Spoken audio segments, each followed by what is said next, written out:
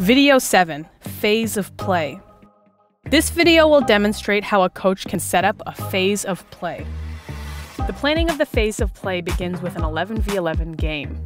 Orange will defend as 4-4-2, while green will attack as 4-3-3 diamond formation. The coach will take out players that are no longer relevant or provide some players with a dual role. In this case, center backs for the green team and the striker for the orange team will be represented by the central red neutral player. The fullbacks for the green team and the wingers for the orange team will be represented by the players in silver. The green goalkeeper will be removed as they are not directly relevant to this exercise. Okay, yeah, Orange, show me where you'd be if the ball was there. Let's step up. Great, okay, play live. Here we go. Live, play a green. The purpose of phase of play is to allow coaches to increase the number of repetitions of their topics with the players who are essential to the successful application of the topic.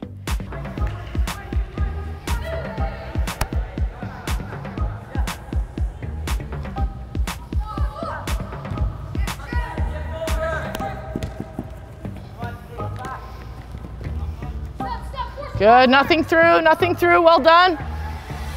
The field size for this session will be full width and length of the field, but it will be varied in part. The coach will likely only use two thirds of the length of the field or half a field depending on the topic they are working on.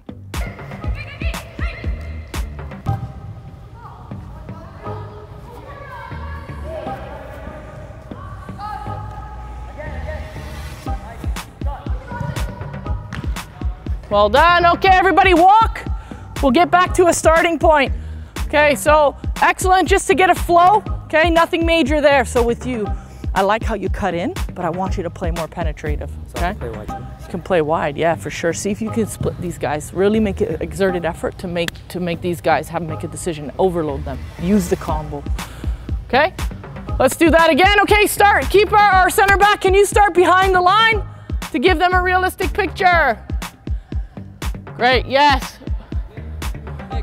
So orange, make sure you're with your line to begin with and then shift as a unit. Play.